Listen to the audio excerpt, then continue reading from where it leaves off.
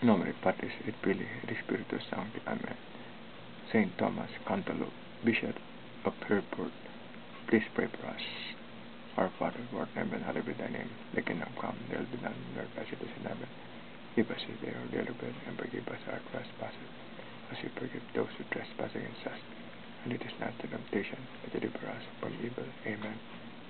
In nomine Patris et Filii et Spiritus Sancti.